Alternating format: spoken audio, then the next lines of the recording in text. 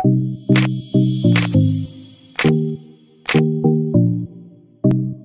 Assalamualaikum warahmatullahi wabarakatuh. Ketemu lagi dengan saya di channel blog berita. Oke teman-teman, hari ini itu ada kabar berita dengan judul Tunjukkan taringnya jadi wakil rakyat. Kris Dahyanti ikut buka suara soal UU Ciptaker yang bikin DPR digeruduk netizen habis-habisan. Tidak ada niat untuk memanjakan para pengusaha dan Baru-baru ini banyak netizen yang menyoroti Dewan Perwakilan Rakyat atau DPR. Tak sekedar menyoroti, netizen juga heboh memberikan kritikan kepada DPR lantaran mengesahkan UU Cipta Kerja.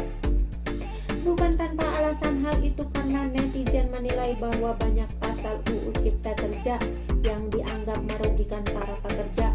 Beberapa hal yang dikeluhkan oleh para netizen seperti penghapusan minimum di kabupaten atau kota, penurunan nilai pesangon saat mengalami PHK dan lain-lainnya. Mengetahui hal itu, selebriti yang ikut duduk di kursi Senayan menjadi wakil rakyat Kris Dahyanti baru-baru ini ikut buka suara. Hal itu diketahui dari unggahannya di akun Instagram Kris Dahyanti Lemos pada Senin.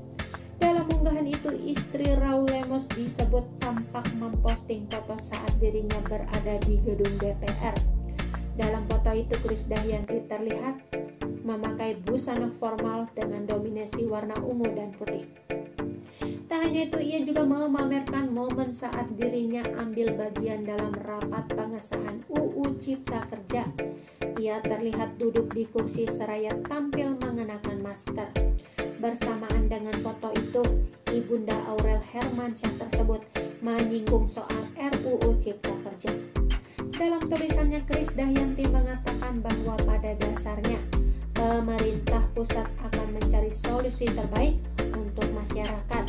Ia juga mengatakan bahwa RUU Cipta Kerja tersebut tidak berniat untuk memanjakan para pengusaha ataupun investor. Menurut Kris Dayanti, Kerja tersebut merupakan terobosan hukum untuk seluruh rakyat Indonesia. Tak hanya itu, Kris Dayanti juga mengklaim bahwa RUU tersebut dapat memudahkan di semua sektor dan bidang dalam melakukan pekerjaannya. Tak hanya itu, di akhir kalimatnya Kris Dayanti juga mengatakan bahwa gagasan Omnibus Law memiliki tujuan yang baik untuk publik. Pasalnya, dalam unggahan itu, Kris Dahyanti memilih untuk membatasi komentar. Oke teman-teman, itu sedikit berita dari channel vlog berita. Sampai ketemu lagi di berita-berita selanjutnya. Sampai.